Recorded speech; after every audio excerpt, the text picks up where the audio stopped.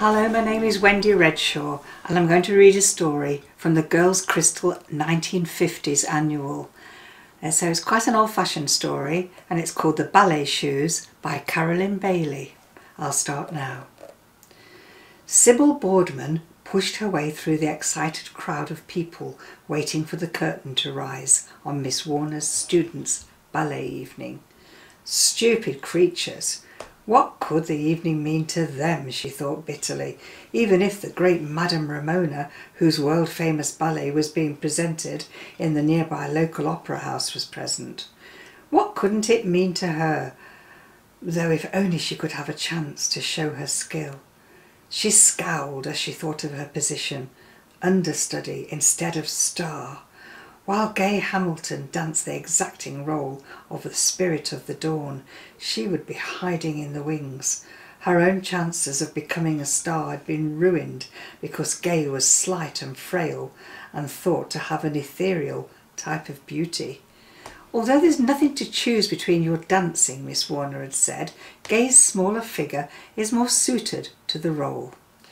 As Sybil entered Gay's dressing room, she saw that her rival was standing in front of the fire, changing her costume.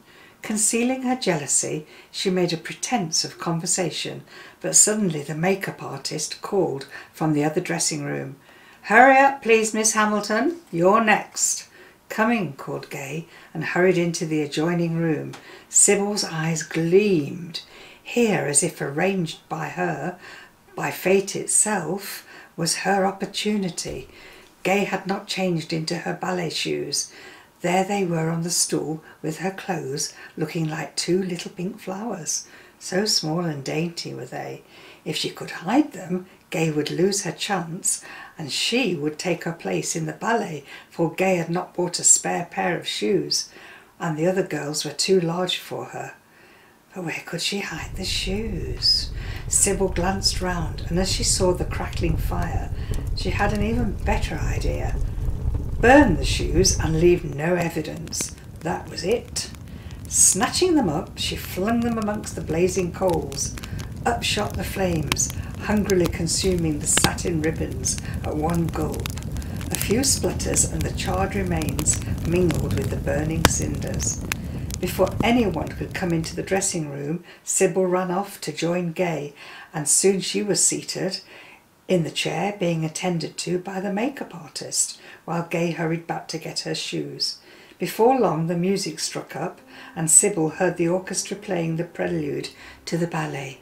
It was difficult to conceal her impatience as she waited for what she knew would happen.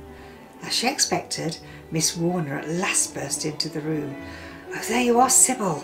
Come at once. You must dance Gay's part. There's something wrong. Gay can't find her ballet shoes. But she was wearing them, surely. No, no, she's lost them somewhere, and I daren't wait any longer. Do hurry. Here is your entrance coming. She almost pushed the girl onto the stage, and Sybil hid a smile of triumph. This was her moment, the turning point of her life. As the spirit of dawn, Sybil excelled herself. She danced the role with a brilliance and polish that she had never before been able to achieve, and the audience sat entranced. At the end of the long and difficult dance, she stood poised on tiptoe, her arms outstretched above the clouds, while the audience thundered their applause. Four times she was recalled to take the curtain. It was an even greater triumph than she had expected, and after such an ovation, she felt sure that Madame Ramona would offer her a coveted place in her famous ballet. She looked round for Gay, hoping that the girl would witness her triumph, but Gay was nowhere about. Making her way to the dressing room, Sybil lapped up the praise and flattery that was showered upon her from all sides, and then impatiently she waited for Miss Warner and Madame Ramona. Suddenly Miss Warner came hurrying along, but to Sybil's surprise she was alone. Sybil, you danced brilliantly, she said with obvious pleasure. I have never seen such a performance. I think it was wonderful of you to step in like that at the very last moment and save the situation. I do wish Madame Ramona could have seen you. Sybil stared in consternation. But, but wasn't she there? she gasped. No, unfortunately. She called just as you had begun your dance, but couldn't stay. It's a long story, and I'll explain it later. But I have a lovely surprise for you. Madame Ramona gave me two complimentary tickets for the Sleeping Princess next week. You can come along with me and meet her there. I'll see you in the theatre, she added, giving Sybil one of the tickets. The girls crowded round as Miss Warner left the room. Front row of the stalls. You lucky beggar, Daphne explained. The Sleeping Princess is lovely. I've seen it in London. Sybil said nothing. She only tried to hide her disappointment. Of course it was exciting to be given the chance to see the famous ballet and meet Madame Ramona, but she had set her heart on the ballerina seeing her performance. Still no sign of Gay. Her clothes had gone, and Sybil wondered if she had gone home in disappointment, but thinking it wiser not to comment, she asked no questions. The following Saturday, Sybil felt excited and important as she arrived at the Opera House and took a seat. Miss Warner wasn't there, but she hurried to claim her seat just as the curtain was rising, so Sybil only had chance to smile and whisper, hello, before the performance commenced.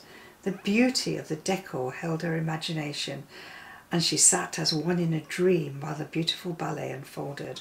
Some day, she thought, I shall be here.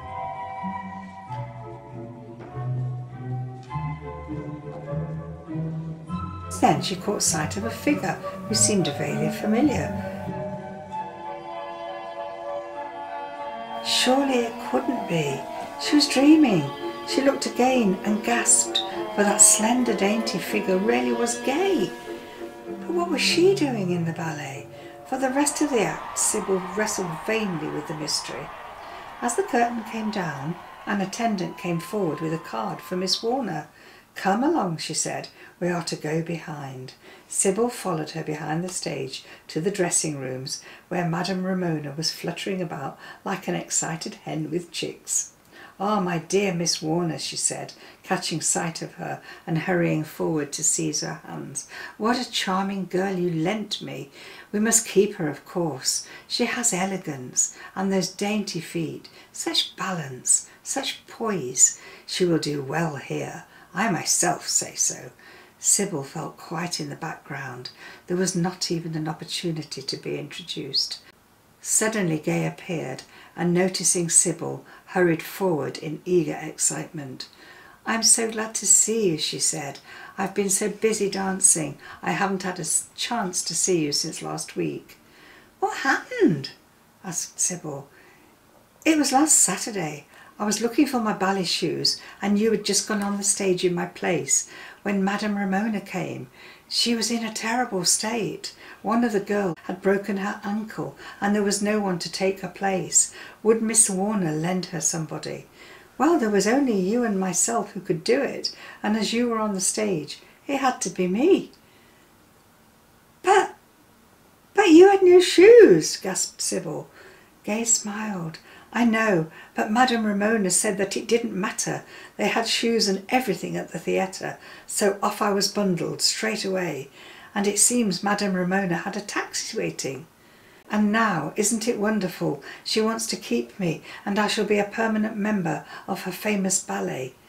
Sybil stared at the happy girl in front of her, a heart full of bitterness. She realised that but for her spiteful act, it would have been herself and not Gay who would have secured this marvellous opportunity.